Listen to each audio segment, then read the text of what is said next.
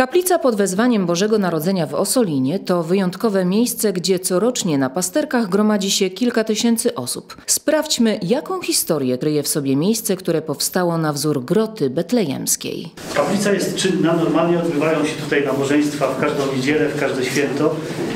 I one e, pod warunkiem, że liczba osób jest niewielka, odbywają się tutaj w środku. Natomiast latem i podczas większych uroczystości to się odbywa w plenerze. Tutaj mamy urnę z ziemią e, z kilku miejsc związanych z życiem i z działalnością Jezusa Chrystusa. Tu jest ziemia z Betlejem, jest ziemia z Drogi Krzyżowej, z Golgoty, jest ziemia z Groty Mlecznej, z Wieczernika. E, Ona jest w takich woreczkach, każdy jest z opisem, także wiadomo skąd e, która pochodzi.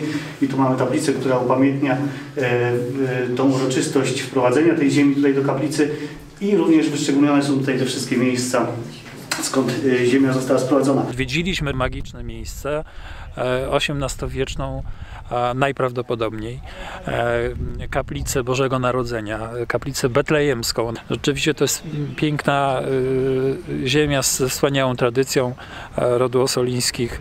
Jerzy Osoliński, czyli domniemany fundator tej kaplicy, wprowadził do usypania tego kopca ponad kaplicą ziemię z miejsca narodzenia Chrystusa, czyli z Betlejem, dlatego to się nazywa też kaplica betlejemska.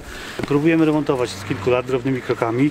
Zaczęliśmy od tej figury, która jest prawdopodobnie starsza od samej kaplicy, e, o jakieś pół wieku, a teraz od dwóch lat e, robimy remont tej fasady, która też już jest prawie skończona.